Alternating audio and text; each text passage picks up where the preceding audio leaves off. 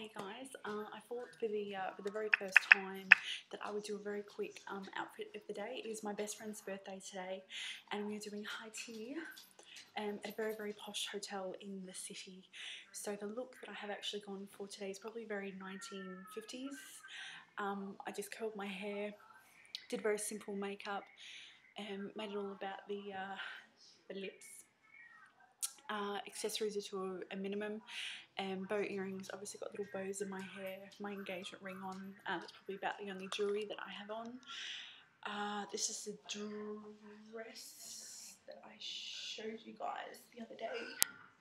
So cute. Like, yep, excuse the bra showing.